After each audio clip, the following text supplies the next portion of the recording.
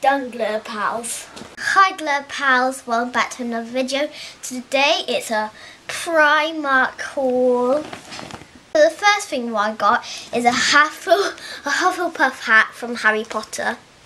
It was £5 and it had a ribbed effect.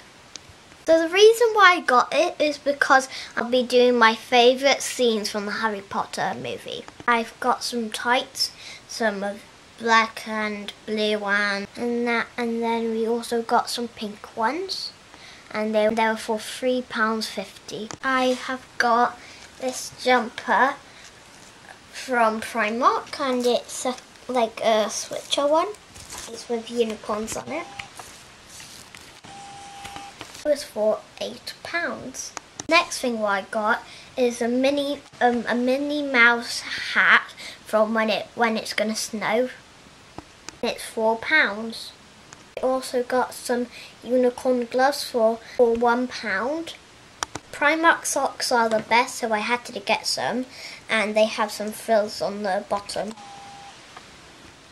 These plain leggings are for two pounds a burgundy colour. I got these unicorn leggings for £3. These were for £6.50 and because there's a big unicorn here and there's so much on the knees too.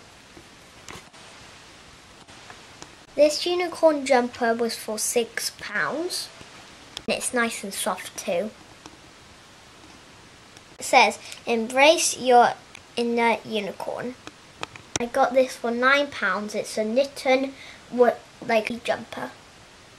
It's a two in one set. You get a third gilet and you get a top with a big heart.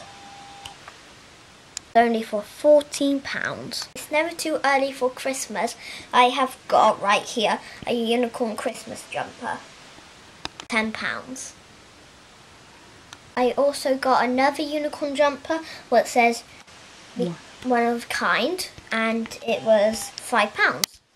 So I got these LOL socks for two pounds for three pairs.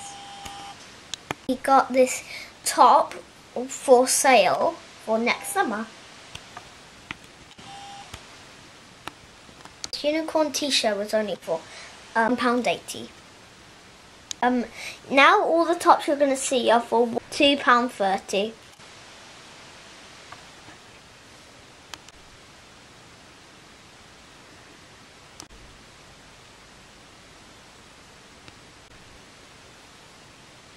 If you enjoyed seeing my Prime Primark haul, make sure you subscribe, give me a thumbs up, hit that bell, ding, and see you on the next one. Bye!